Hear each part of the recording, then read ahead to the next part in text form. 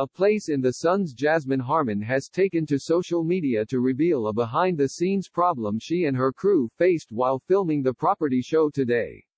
A place in the Sun presenter Jasmine Harman has taken to Instagram to address a problem she and her crew experienced while trying to film the hit property show's latest episodes.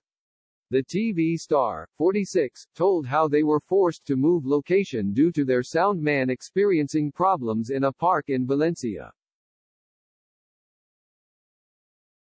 Spain. In view of her 107,000 followers, Jasmine revealed the problem she and her team were facing. Speaking to her camera, she said, We are filming in one of Valencia's beautiful parks this morning.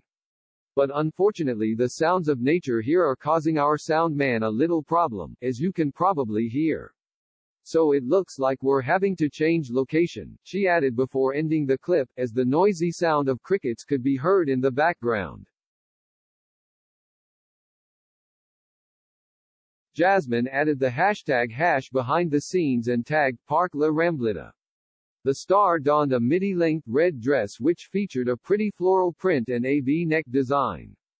Jasmine had previously posed in the garment while outside the La Cité de les Arts y les Sciences in Valencia, revealing that shed visited before in 2005.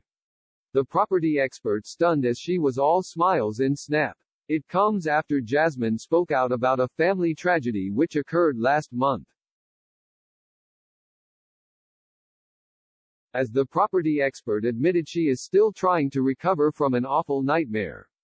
The star took to social media to pay tribute to her beloved dog Jet as she revealed he died suddenly after a tragic accident. Taking to the picture-sharing site yesterday, the mum of two uploaded a video montage of her beloved pooch, which included a series of photos of Jet over the years. The candid clip was accompanied by the tear-jerking song, Somewhere Over the Rainbow. In view of her 106,000 followers, she pinned, Rip Jet.